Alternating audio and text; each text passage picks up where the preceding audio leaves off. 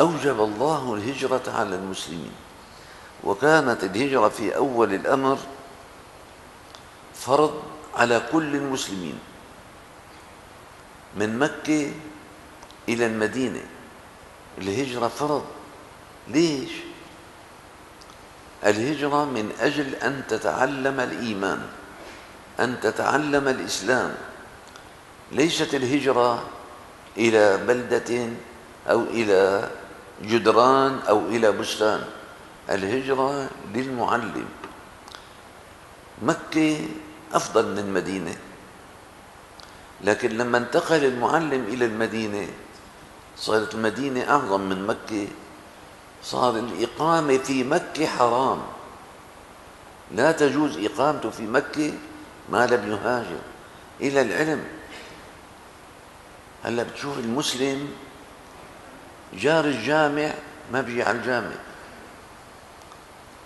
اهجر بيتك ساعة زمان تعتعلم بلاقيها صعبة. عرف إنه أنت كمسلم واجب تطلب العلم.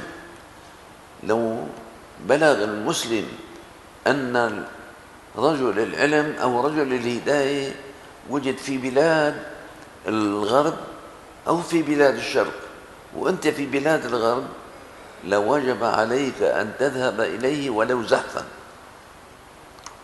في معلم وجد معلم يعلمك الإيمان يعلمك الإسلام واجب عليك أن تهاجر إليه لأن العلم يظهر للإنسان الحقائق.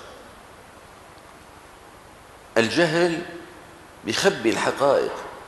أعمى الجهل أعمى أما العلم نور. فبدك تروح إلى المعلم. وين المعلم انوجد انوجد المعلم في بلاد الهند. بدك تروح إلى بلاد الهند. الآن الحمد لله الآن أخوان لكم بفرنسا. بيهاجوا من فرنسا لهون مشان يقعدوا يقعدوا مع الشيخ يومين ثلاثة وبيرجعوا لفرنسا. عم يجوا من أمريكا بيقعد يومين ثلاثة وبيرجع. ما له شغل إلا أنه جاي يقعد مع المعلم يقعد يوم يومين أو ساعة ساعتين ويرجع. اخوانكم من اللاذقيه امبارح أو أول امبارح كان جاي عندي بعض الأحباب. واحد من جملة الأحباب عاجز. ما بيحسن يتحرك. يقوم يقعد بيحملوه حمل. لا بيتحرك لا ايديه واجريه عاجز. اجى من اللاذقيه للشام. قعد مع المعلم نص ساعة. ورجع. خلص. رضيان مني رجع. فهي الهجرة قائمة إلى الآن. فصلنا النبي عليه الصلاة والسلام. اللهم صل عليه.